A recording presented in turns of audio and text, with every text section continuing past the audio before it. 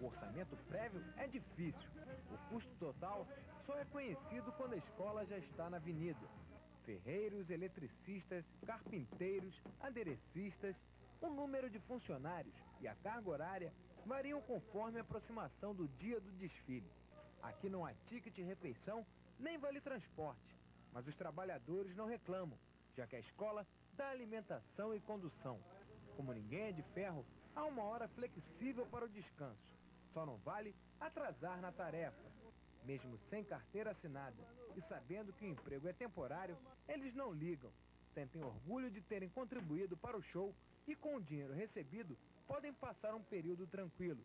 Durante o resto do ano, se viram como podem, aguardando o próximo carnaval, onde tudo recomeça. O barracão de uma escola de samba, a gente podia dizer que ele é um ateliê.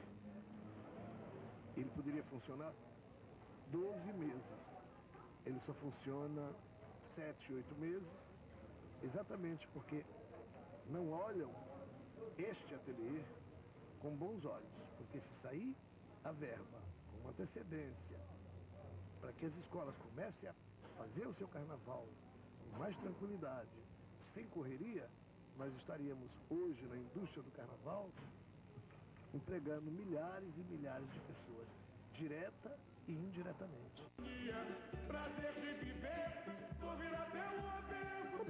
Mocidade, mistério é a palavra-chave. Quase todos os carros foram cobertos com plástico e só serão mostrados ao público durante o desfile.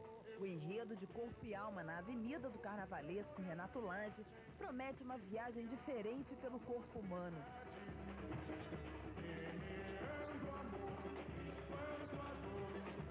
Com muito humor, ele vai falar sobre coração, pulmões, células e ossos.